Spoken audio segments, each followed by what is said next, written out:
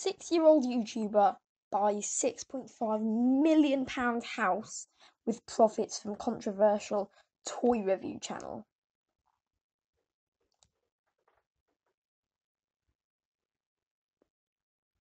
Alright, we'll do it your way.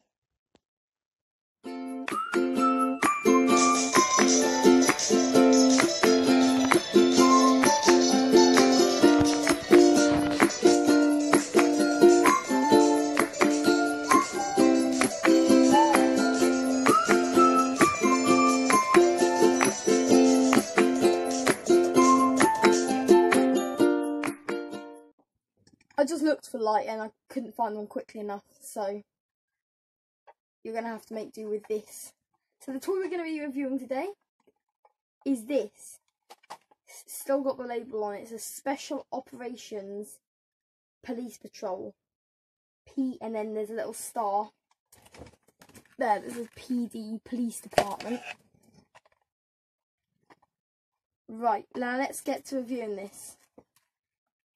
Um, he said the toy channel was controversial, which is why I've picked a gun to review. Um, there's two little handles here, so you can hold it like this if you want. And then when you, you pull the trigger, it makes a very realistic noise.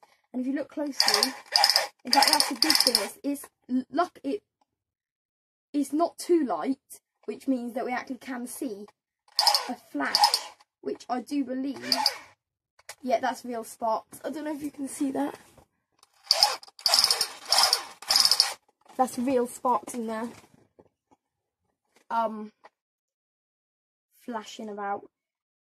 Which means that if you stuck a piece of paper or like poured a bunch of gunpowder in here, it would probably be pretty dangerous.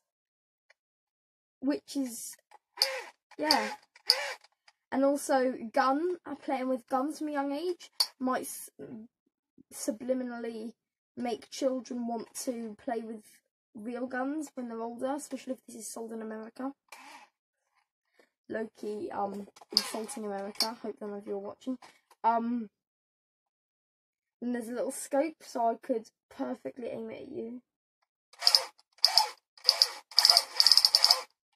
Take that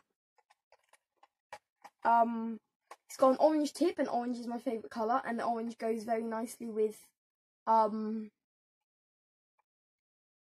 the blue.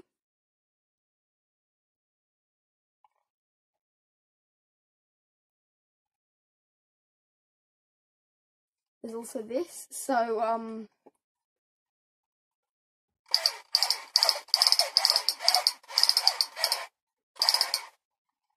yeah.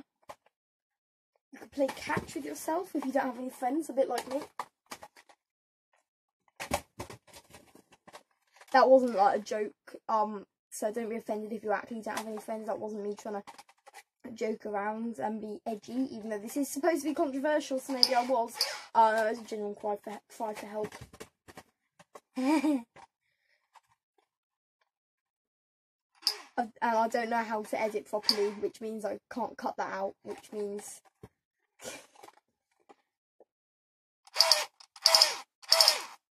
It doesn't have a hole though, so I would take away a mark from that.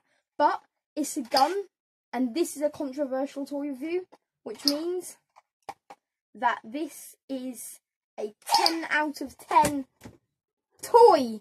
Come on, let's go. We found a 10 out of 10 toy. I got this from the pound shop, so it, for money's worth as well. Yeah, I think I got it from the pound shop. Anyway, that is King Globby reviewing toys. cool me down because I'm so hot.